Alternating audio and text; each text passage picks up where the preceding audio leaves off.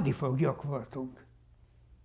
De azt tudni kellett volna, különösen a franciáknak, hogy mikor kitört a német-francia háború 1940-ben, akkor a franciák azt mondták, hogy na hát, jöhetnek ide a németek, úgyse tudnak bejönni Franciaországba, mert egy olyan mazsina vonalat építettünk, hogy ezen át nem jönnek soha.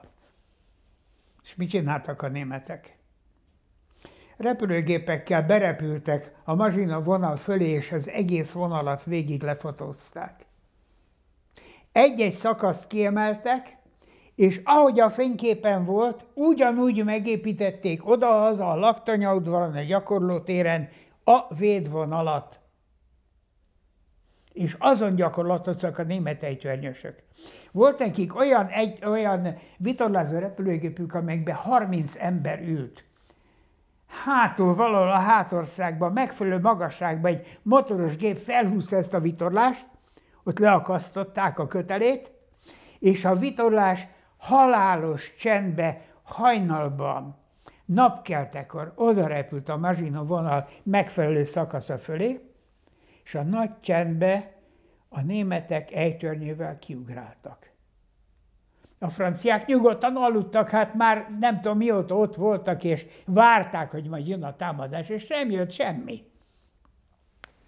A németek vitték a, a megfelelő fegyvert, petróleumot, jól betankolták a lőréseket, és begyújtották a mazsina vonalat, és ott égtek benne a franciák menekültek.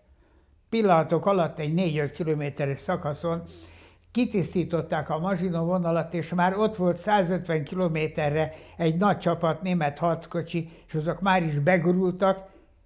A nagy büszke francia hadsereg négy nap alatt letette a fegyvert és megadta magát, bevonult Párizsba Hitler az Arc, a, a Champs-Élysées-n, az Arc de Triomphe-nál, a Diadalívnél, ott tartotta a nagy ünnepséget a Hitler. Ezt a szégyent. Borzalmas volt. Na, jött is ennek aztán visszavágás is, amikor az amerikaiak visszafoglalták Párizst, és bevonultak a franciák, franciák, volt nekik egy néhány alakulatuk az észak-afrikai gyarmatokról, Marokkóból, ahol, ahol nem voltak harcok, ahol nem volt német hadsereg. Ezeket a színeseket hozták, ezek őriztek bennünket. És úgy be voltak ijedve. Ilyen két emelet magas tornyokat ácsoltak, és azokban fönt ült az, az, a néger, vagy a, az, az, az arab őr, és egész éjjel énekelt, így adtak jelt egymásnak, hogy még ébren vagyok, még meg vagyok, mert attól féltek, hogy a magyarok fölmásznak a létrán utánuk, és elvágják a torkukat. És aztán lejöttek ezek a derék arabok.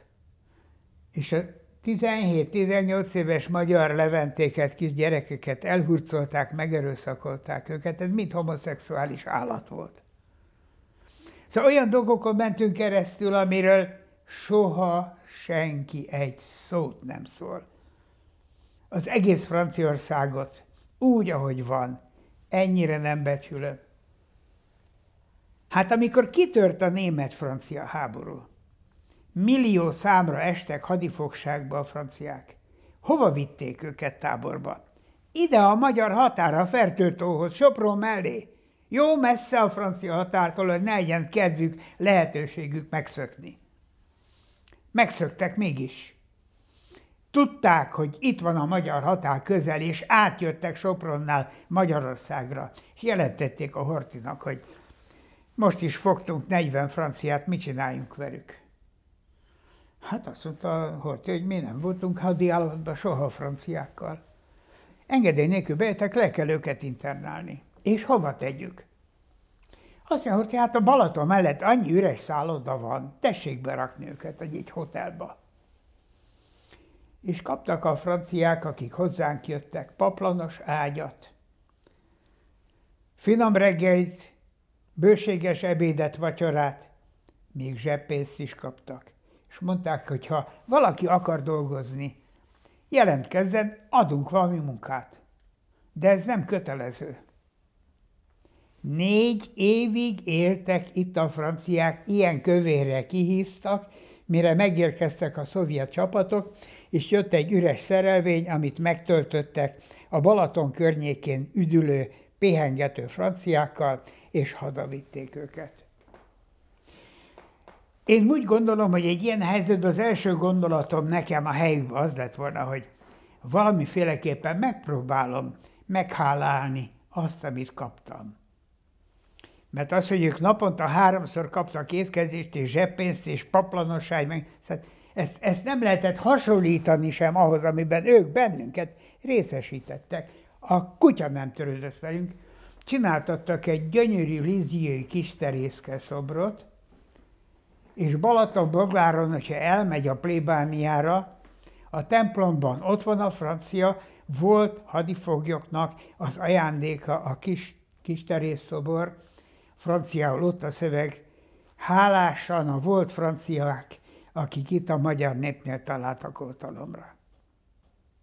Na hát a Szalai Ramos, mikor meghallotta, hogy ott vagyunk, akkor megkereste azt a volt hadifoglyok szervezetét, amelyik a Magyarországon élt francia hadifoglyokból rekrutálódott, és azt mondta, most azonnal írjanak egy levelet a Dögolnak, és követeljék, hogy emberséges állapotokat teremtsenek a magyaroknak, mert mi négy évig ott voltunk és élveztük az ő igazi vendégszeretetüket. Legalább ez a minimum, amit meg kell tenni. Úgyhogy kaptunk húst, kaptunk enni, kidobták a rohadt szalmát a szobákból, kaptunk szép vas csőágyakat, matraccal, takaróval, kaptunk új alsóneműt, kaptunk amerikai egyenruhát, és kaptunk rendes ételt reggel, délbe, este. Ennyit tudok.